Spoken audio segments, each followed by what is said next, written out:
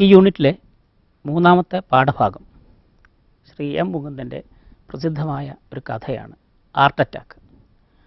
Heart attack നമുക്കൊക്കെ പരിചിതമാണ്. ഇവിടെ ഹാർട്ട് അറ്റാക്കാണ്. കലയുടെ അവസ്ഥ മൂലം ഉണ്ടാകുന്ന ഒരു അറ്റാക്ക്. നമുക്ക് ഈ കഥയിലൂടെ കടന്നു പോകുമ്പോൾ ആ അറ്റാക്കിന്റെ കാര്യം ബോധ്യപ്പെടും. എം മുകുന്ദന്റെയാണ് കഥ. മയ്യഴിയുടെ കഥാകാരനെന്നും പ്രധാന കഥാകൃത്തും നോവലിസ്റ്റുമായി അറിയപ്പെടുന്ന വ്യക്തിയാണ് എം മുകുന്ദൻ. ആധുനികതയുടെ വക്താവായി രംഗപ്രവേശം ചെയ്ത എഴുത്തുകാരനാണ്. അദ്ദേഹത്തിന്റെ പ്രധാന കൃതികളെന്ന് പറയുന്നത് ഹരിദ്വാറിൽ മണിമുഴങ്ങുന്നു ആവിലായിലെ സൂര്യോദയം ദൈവത്തിന്റെ വികൃതികൾ കേശവന്റെ വിലാപങ്ങൾ തുടങ്ങി ഒട്ടനവധി കൃതികൾ. ഹാർട്ട് അറ്റാക്കിലെ പ്രമേയം എന്ന് പറയുന്നത് നേരത്തെ രണ്ട് കലാരൂപങ്ങൾ പരിചയപ്പെടുകയാണ് ചെയ്തതെങ്കിൽ. കലയ കലയ്ക്കുണ്ടായിക്കൊണ്ടിരിക്കുന്ന മാറ്റം കലയെ പുതിയ കാഴ്ചപ്പാടിൽ സമീപിക്കുന്ന ഒരു ദൃശ്യമാണ് നമുക്കിതിനകത്ത് കാണുന്നത്. ഒന്ന് കല കമ്പോള ചരക്കാവുന്ന പുതിയ കാലത്തെയാണ് ഇതിൽ ആവിഷ്കരിക്കുന്നത്. എല്ലാം കമ്പോളത്തിലേക്ക് നീങ്ങിക്കഴിയുമ്പോൾ കലയ്ക്ക് മാത്രമായിട്ട് അതിൽ നിന്ന് ഒരു മാറ്റം മാറ്റമുണ്ടാകാൻ സാധ്യതയില്ല. കലയും കമ്പോളത്തിലേക്ക് പോവുകയാണ്. ഉപഭോഗ സംസ്കാരം കലകളെ എങ്ങനെ നശിപ്പിക്കുന്നു എന്ന് കഥ വ്യക്തമാക്കുന്നു. ഒരു യഥാർത്ഥ കലാകാരൻ കലയെ ഇഷ്ടപ്പെടുന്ന ശിവരാമൻ എന്ന നിരൂപകൻ അദ്ദേഹത്തിനുണ്ടാവുന്ന ദുരന്തങ്ങൾ ദുരന്തങ്ങളാണ് ഇതിനകത്ത് ആവിഷ്കരിക്കുന്നത്. പ്രധാനമായിട്ടും പുതിയ തലമുറ ഉപഭോഗ സംസ്കാരത്തിന്റെ കീഴിൽ വരുന്ന പുതിയ തലമുറ എന്തിനേയും അതിന്റെ പ്രയോജനവാദത്തിന്റെ രീതിയിൽ മാത്രം കാണുന്ന പുതിയ തലമുറയാണ് ഈ കലകളെ ഇത്തരത്തിൽ കൊണ്ടുചെന്നെത്തിക്കുന്നത് എന്ന് ഈ കഥയിലൂടെ അദ്ദേഹം പറയുന്നു. ശിവരാമനുണ്ടാവുന്ന ദുരന്തം അതുതന്നെയാണ് വ്യക്തമാക്കുന്നത്.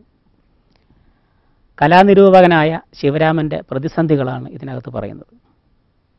പത്രത്തിലെ പ്രധാന നിരൂപകനായിരുന്ന കലയുടെ നിരൂപകനായിരുന്ന ശിവരാമന് ഒരു ഘട്ടം എത്തുമ്പോഴേക്കും പുതിയ പ്രവർത്തകരായിട്ടുള്ള ഗിരിരാജിന്റെ ഒക്കെ അഭിപ്രായങ്ങളനുസരിച്ച് തന്റെ നിരൂപണ രീതിക്ക് മാറ്റം വരുത്തേണ്ടി വരുന്നു. മാറ്റം വരുത്താൻ ശിവരാമൻ തയ്യാറാവുന്നില്ല. മാറ്റം വരുത്താൻ കഴിയാത്തതുകൊണ്ട് തന്നെ അദ്ദേഹത്തിന് പത്രത്തിലെ ജോലി നഷ്ടപ്പെടുന്നു.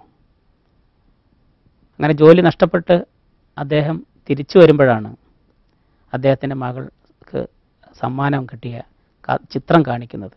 കുറേ വൃത്തങ്ങളും ചതുരങ്ങളും ത്രികോണങ്ങളുമുള്ള ഒരു ചിത്രം. ആ ചിത്രത്തിന് നൽകിയിരിക്കുന്ന പേര് എന്റെ അച്ഛൻ എന്നാണ്. ശിവരാമൻ ചോദിക്കുന്നത് ഇത് ഞാനാണോ മോളെ എന്നാണ് ഇത് ചിത്രമാണ് ചിത്രമാണോ മോളെ എന്നുള്ളതാണ്.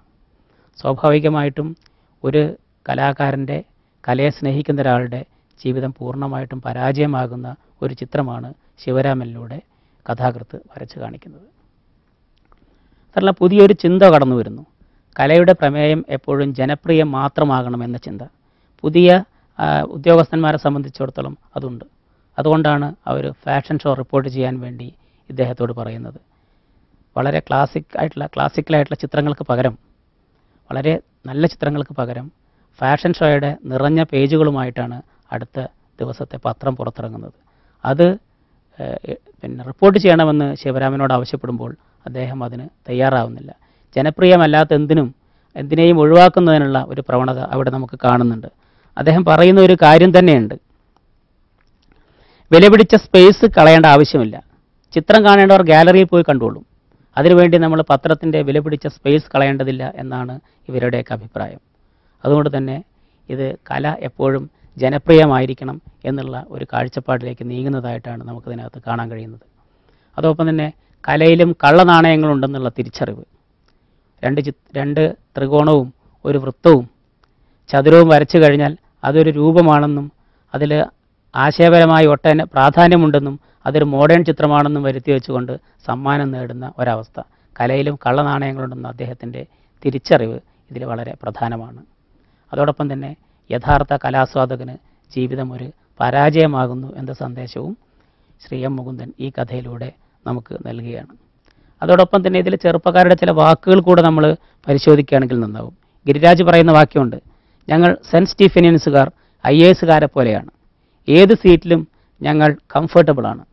ഏത് സീറ്റിൽ പോയിരുന്നാലും ആ സീറ്റിന്റെ സ്വഭാവം കാണിക്കുന്ന എന്തിനും അനുസരിച്ച് നിറം മാറാൻ കഴിയുള്ളവരായിട്ട് പുതിയ തലമുറ മാറുന്നു എന്നതിന്റെ ഒരു ചിത്രമാണ് ഗിരിരാജ് നമ്മുടെ മുമ്പിൽ കാഴ്ചവെക്കുന്നത്. മറ്റൊരു ആൾ പറഞ്ഞിരിക്കുന്നത് രവിഭൂഷൺ പറഞ്ഞിരിക്കുന്നത് ഇങ്ങനെയാണ്. ഫാഷൻ ഷോ കവർ ചെയ്യാൻ പറയുന്നു. ബൂർഷ വാല്യൂസ് ഒക്കെ കളയണം.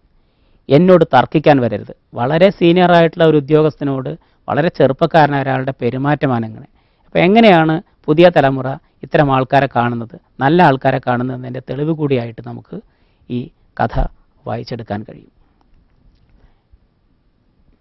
ഇതിന്റെ ചില ചോദ്യ സാധ്യതകളിലേക്ക് നമുക്ക് പോകാം ഒന്ന് കഥാപാത്ര നിരൂപണമാണ്. ഇതിനകത്ത് പ്രധാനമായിട്ട് വരുന്ന കഥാപാത്രങ്ങൾ ഒന്ന് ശിവരാമനുണ്ട് ഗിരിരാജുണ്ട് രവിഭൂഷണുണ്ട് ഒപ്പം തന്നെ ആരതി എന്ന് പറയുന്ന മകൾ ലക്ഷ്മി അദ്ദേഹത്തിന്റെ ഭാര്യ. ഇത്രയും കഥാപാത്രങ്ങളുടെ വിമർശനം വിശകലനം ഇതിന് സാധ്യതയുണ്ട്. കഥാപാത്രങ്ങളുടെ താരതമ്യത്തിനുള്ള സാധ്യതയുണ്ട്. എങ്ങനെയാണ് ശിവരാമന് രവിഭൂഷണും തമ്മിൽ വ്യത്യാസപ്പെട്ടിരിക്കുന്നത് ഗിരിരാജൻ തമ്മിൽ എങ്ങനെയാണ് വ്യത്യ- വ്യത്യാസപ്പെട്ടിരിക്കുന്നത് തുടങ്ങിയ കഥാപാത്ര താരതമ്യത്തിന്റെ സാധ്യത ഇതിനകത്തുണ്ട്. ഈ കഥാപാത്രങ്ങളുടെ ജീവിത കാഴ്ചപ്പാടുമായി ബന്ധപ്പെട്ട് എന്താണ് ശിവരാമന്റെ ജീവിത കാഴ്ചപ്പാട് കലയോടുള്ള കാഴ്ചപ്പാട്?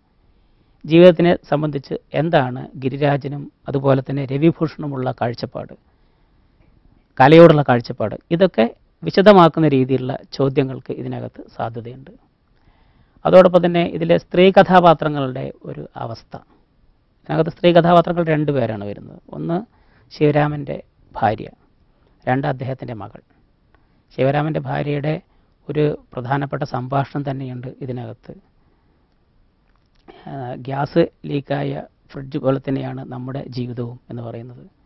അപ്പോൾ അവരുടെ ജീവിതം പോലും ഫ്രിഡ്ജിന് ഗ്യാസ് പോയ ഗ്യാസ് ഒഴിഞ്ഞു പോയ ഫ്രിഡ്ജിന് തുല്യമായി കാണുന്ന ദുരിതാവസ്ഥ കാണിക്കുന്ന ഒരു ജീവിതമാണ് അവർ നയിക്കുന്നത്.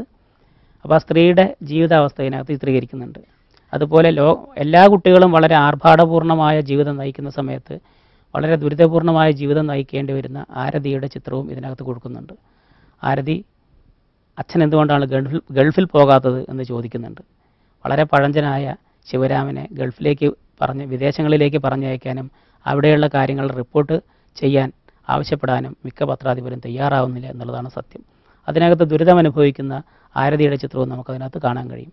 ഇത്തരത്തിൽ തരത്തിൽ അവരുടെ ജീവിതാവസ്ഥ ചിത്രീകരിക്കുന്ന ചില ചോദ്യങ്ങളും വിമർശനം ചെയ്യുന്ന വിശകലനം ചെയ്യുന്ന ചില ചോദ്യങ്ങളും ഇതിന്റെ ഭാഗമായിട്ട് വരാനുള്ള സാധ്യതയുണ്ട്. ഈ യൂണിറ്റ് മുഴുവൻ കടന്നു പോകുമ്പോൾ ഇതിനകത്തെ സ്ത്രീ കഥാപാത്രങ്ങൾ ദമയന്തിയുടെ അപ്പുറത്ത് ഇവിടെ ലക്ഷ്മി എന്ന് പറയുന്ന കഥാപാത്രമുണ്ട്. ഇതിലെ കൗണ്ടിൻ എന്ന് പറയുന്ന രാജസേവനത്തെ സംബന്ധിച്ചുള്ള കഥാപാത്രമുണ്ട്. ഈ ഹാർട്ട് അറ്റാക്ക് എന്ന കഥയിലെ രവിഭൂഷണെ പോലെയുള്ള ശിവരാമനെ പോലെയുള്ള കഥാപാത്രങ്ങളുണ്ട്. എന്ന് വെച്ചാൽ ഒരുപാട് കാര്യങ്ങളെ സംബന്ധിച്ചുള്ള താരതമ്യത്തിന് സാധ്യതയുള്ള ഒരു യൂണിറ്റാണിത്. വിശകലനം എല്ലാവരും ശ്രദ്ധിച്ചല്ലോ? ഇതിനെ സംബന്ധിച്ചുള്ള നിങ്ങളുടെ അഭിപ്രായങ്ങൾ വിമർശനങ്ങൾ അറിയിക്കണം.